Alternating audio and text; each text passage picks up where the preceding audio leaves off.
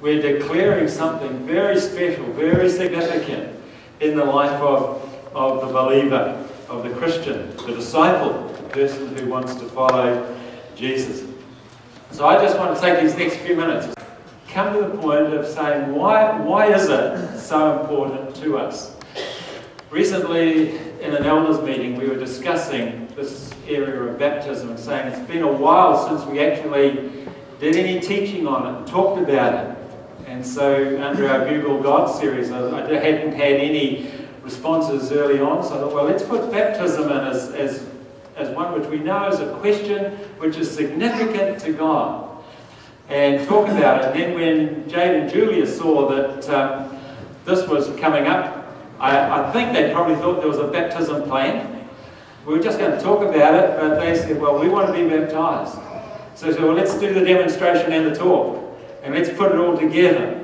And so that's really what we, what we want to do today. Now, I appreciate that different church traditions have different uh, understandings on, on baptism.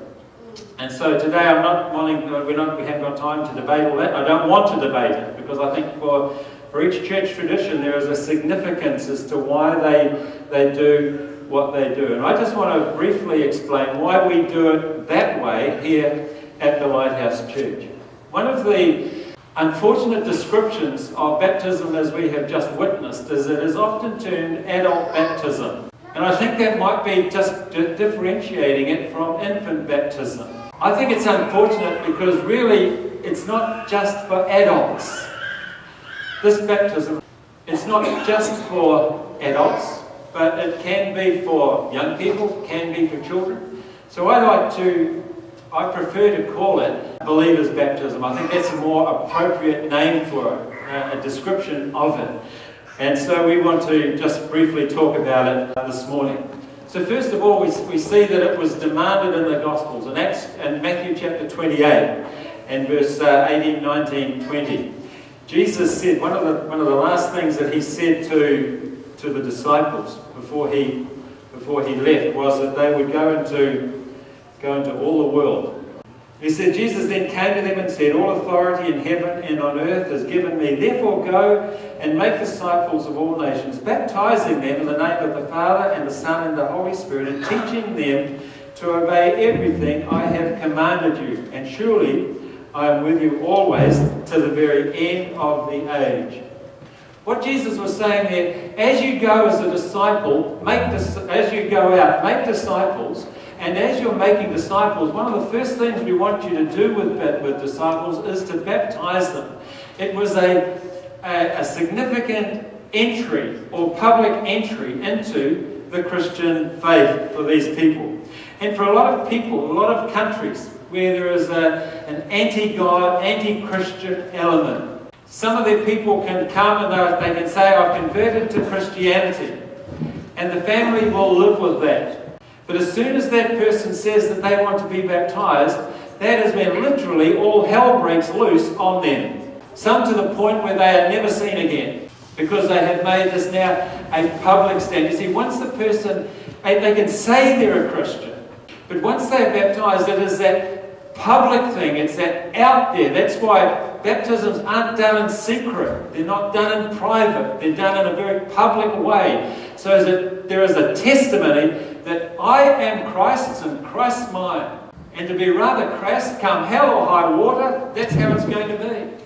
Nothing's going to change that. And it's that public stand, that, that affirmation, that makes it so dangerous in many places for a person to say, not only am I a Christian, but I'm going to demonstrate that in baptism.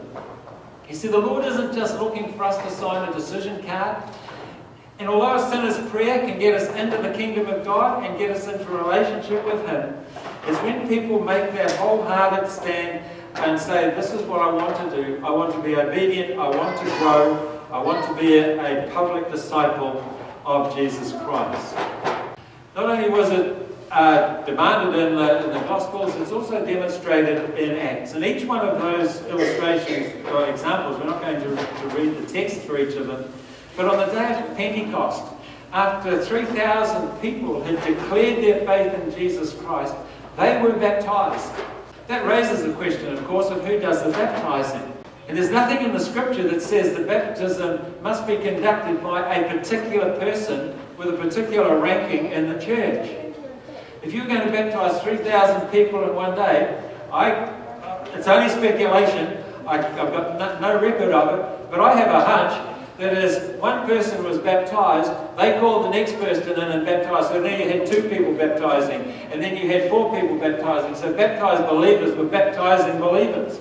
And so they were able to do 3,000 in one day. They would have been there a long time. It was just left to one or two of the apostles to have done that. So it was, was um, for Paul, for Cornelius, for Lydia, for the Philippian jailer, for the 12 in, in Ephesians, uh, in Ephesus rather. That was all part of a demonstration in act of this is what Jesus said. He said this is what we're to do, and so we're going to do exactly what he has said that we should do. And it's described for us particularly in uh, Romans. And Julia read for us some of those verses from Romans chapter 6, so we won't read them again here now.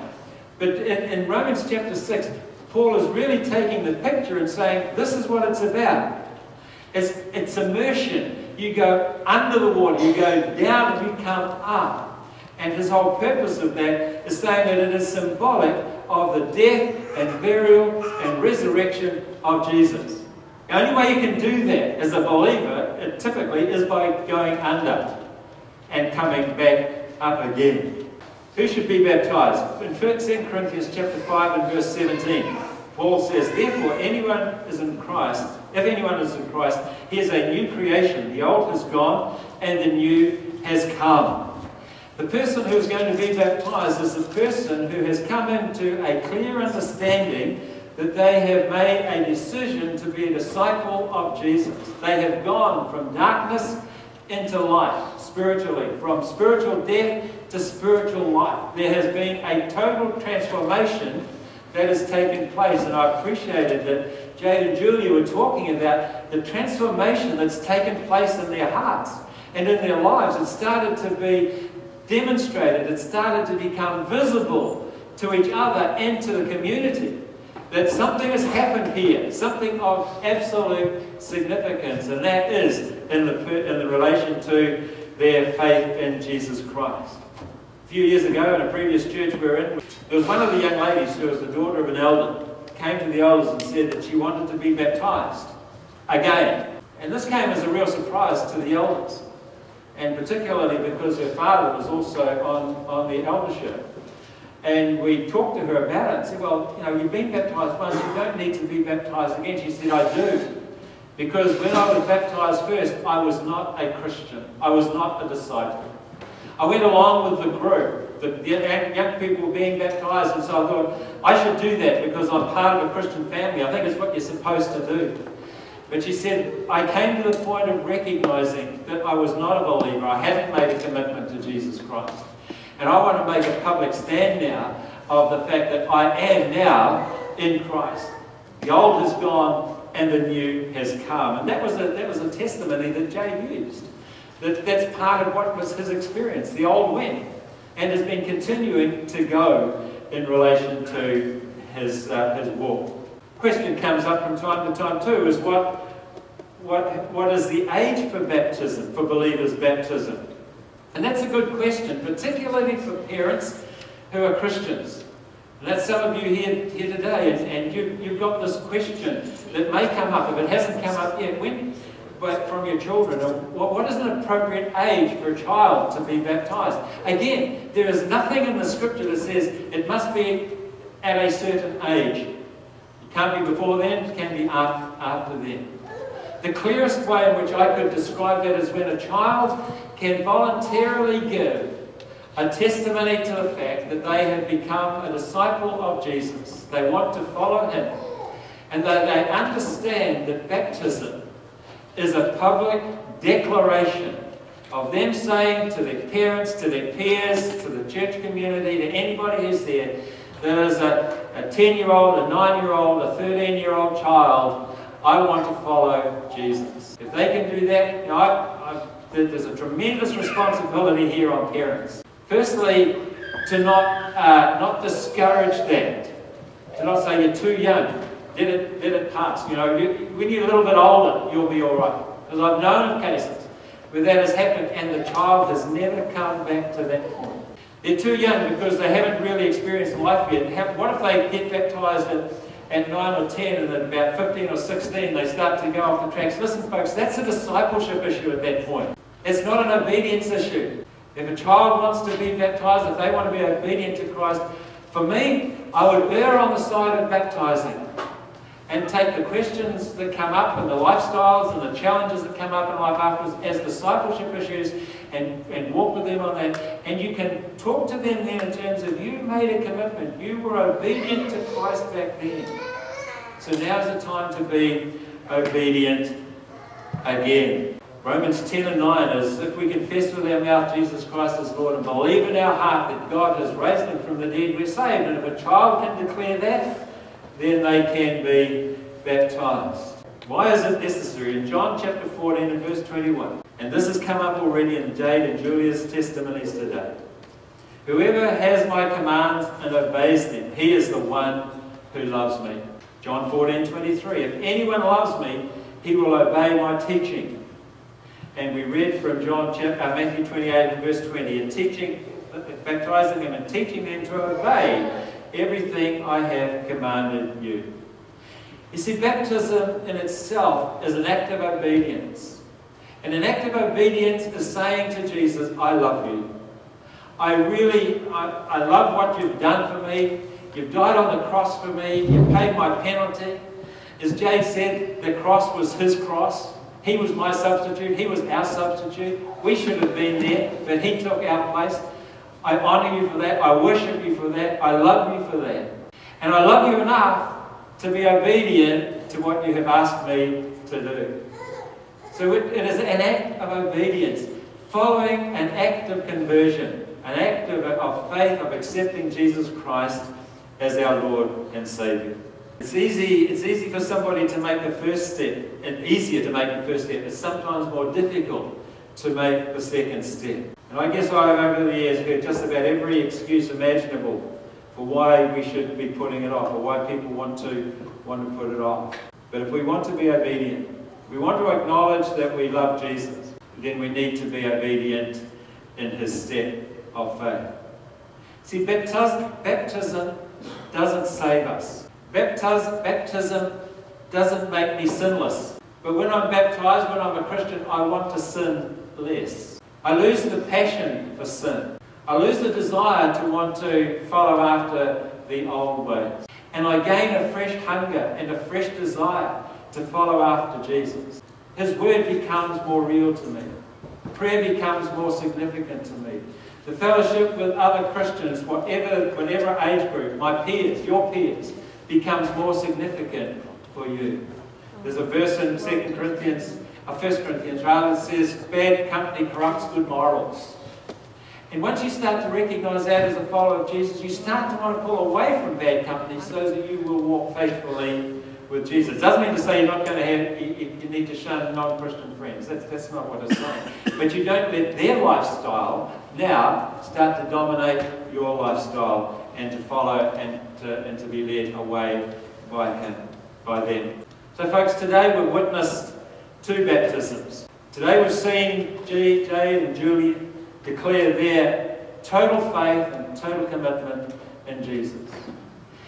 And I think back, every time I come to a baptism, I think of going to a little church in the middle of Frankton, which is a suburb of Hamilton, for, for those who haven't sort of visited way up that end of it as a 15 year old, going into, into baptism, I think it was about 1960, I've got it marked in my Bible, so a few years ago now. But every baptism reminds me again of that day, of that commitment, of what I stood for then. And it's a challenge to me. Is, is that what I still stand for today? Do I still love Jesus that much today? Am I still willing to be as obedient to Him today as I was then? And folks, this morning, if, if, you're a believer and you've been baptized, I trust that as you've seen Jay and Julia baptized and you've reflected again on that day in your life, let it bring joy again. Let it bring a sense of inspiration again. into what your walk with Jesus can be like. And if you haven't come to that point yet, and perhaps this may have been the first time you've seen a baptism, and it's raised sort of questions in your mind as to, to what really, do I really, should I, when should I? Then we would encourage you to keep inquiring.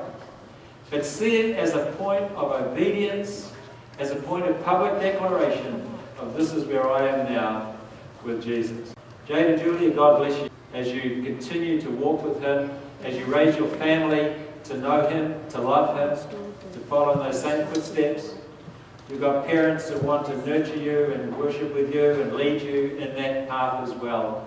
And you are a family that is blessed.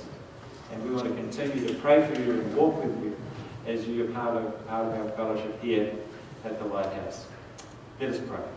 Father, these are great days. These are times when we can just celebrate with those who are, are, are celebrating, rejoice with those who are rejoicing. We know that your heart is lifted today. There's a smile in, in your face today as you look down on this little group of people here, part of your church, and uh, celebrating the life, the baptism of, of two wonderful people. Today, Father, we pray that that might be an ongoing experience for them. And that we might become ever faithful to you, ever faithful to your word, ever faithful to accepting the challenges of it, and growing in our love for you and our love to, to serve you and to go after everything that is yours. So we thank you for today. We thank you for this moment. In Jesus' name, amen.